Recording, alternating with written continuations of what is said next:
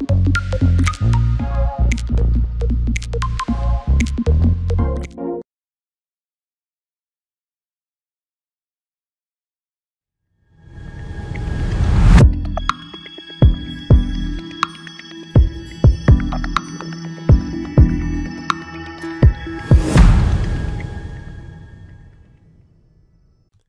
Bonjour à tous et bienvenue sur boursicoté.com pour cette nouvelle analyse technique Forex, matières premières et crypto-monnaie avec une paire de devises euro-dollar et eh bien, qui a donc bien cassé ici cette zone de support oblique qui nous a provoqué un signal de sortie de cette dynamique haussière mais sans pour autant avoir un signal de retournement puisque l'on reste ici au-dessus de la zone des 1.0850 et encore aujourd'hui dans un, dans un mouvement très peu volatile. On peut d'ailleurs remarquer que suite à l'attaque sur la bande de Bollinger inférieure, il n'y a quasiment plus volatilité.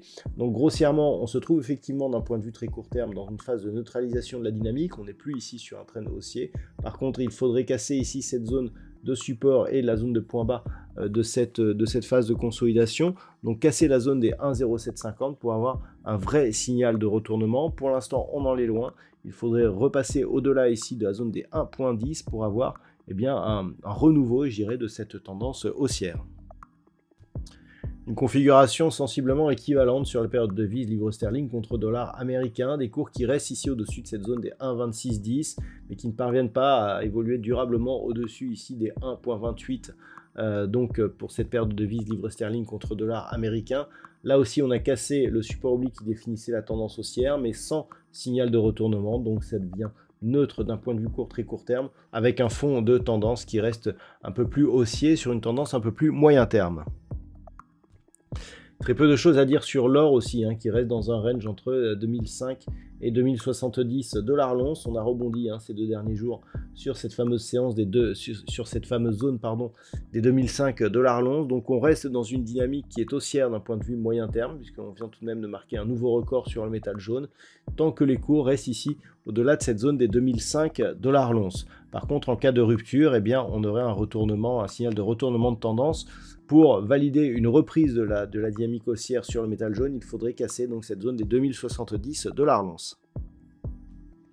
Au niveau du WTI, on reste ici autour de la zone des 74 dollars le baril. On a cru hein, que les cours allaient casser.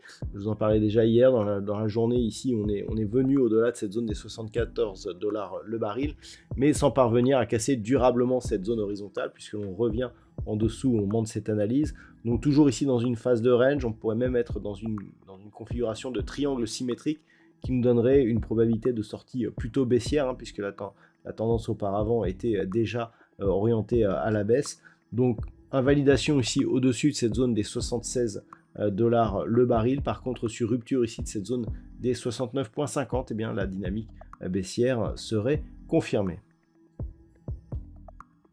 Puis enfin au niveau du Bitcoin, là aussi ça se stabilise hein, puisque les cours continuent à osciller entre 40 500 et 45 700 dollars pour un Bitcoin. Donc là aussi une tendance qui reste haussière, hein, notamment depuis la rupture ici de cette zone des 31 800. Mais attention à une rupture ici de cette zone des 40 500 qui pourrait donner comme objectif un retour sur cette zone des 35 000 dollars pour un Bitcoin.